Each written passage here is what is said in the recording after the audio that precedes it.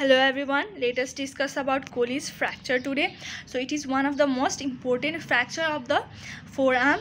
So it is the fracture of the distal end of the radius at the corticocancellous junction which is 2.5 centimeter from the articular surface in case of osteoporotic females at menopause with typical displacements okay?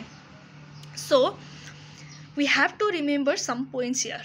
What are those Firstly, it is the fracture of the distal end of the radius, where at the corticocancellous junction. Where does that lie?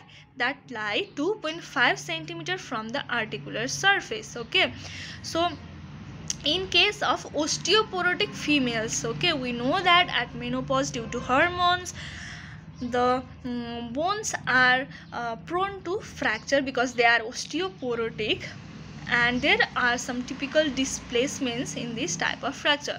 So what is the mode of the injury? The mode of the injury is the fall on the outstretched hand with wrist in extension.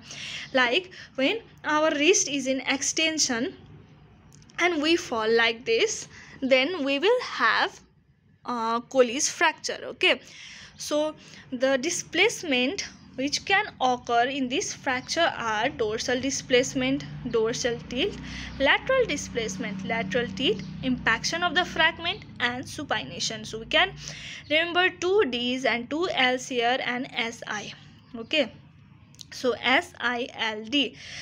So uh, we know about um, Dinner-fork deformity which can occur in this type of fracture it occurs basically in case of dorsal displacement and dorsal tilt okay? So d d for dorsal and d for Dinner-fork deformity.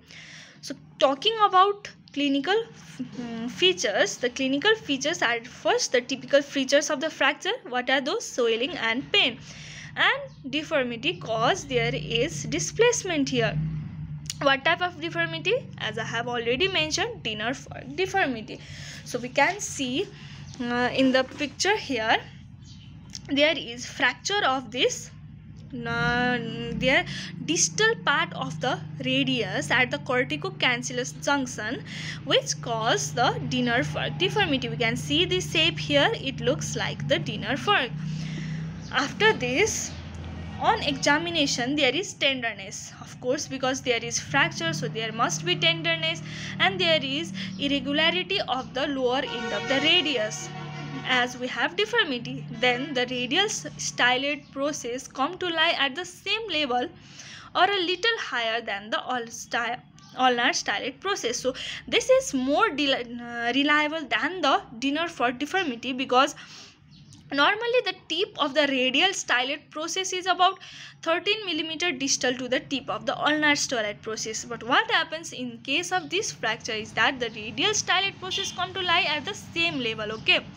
So um, if this is seen in the examination on x-ray finding then it is definitely a Colles fracture. So for treatment when there is on displaced fracture then dorsal splint can be done until swelling is decreased okay? Then after swelling is decreased cast is uh, kept for four weeks.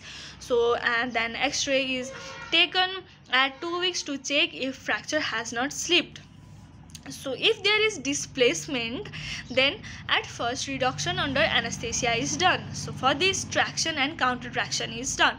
So in counter traction and counter traction as we can see here here the um, assistant uh, assistant surgeon uh, flex the elbow and pull the elbow from here while the surgeon uh, does the handshake with the patient and um, pull the uh, wrist. Okay so in this method the fracture can be reduced then the distal um, fragment impaction with um, white wrist is uh, manipulated in palmar flexion. Then dorsal plate, cast can be used which is also known as Colles cast.